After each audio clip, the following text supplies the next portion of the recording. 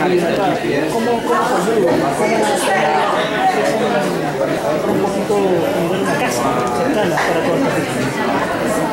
Pero yo creo que lo mejor que podemos hacer es tener estas expresiones de solidaridad.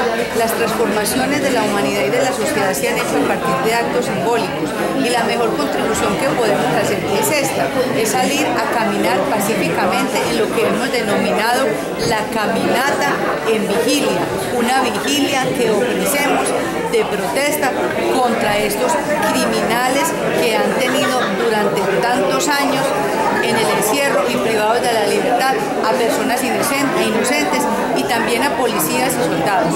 Nuestra solidaridad entonces con ellos, con sus familias y con nuestro querido país.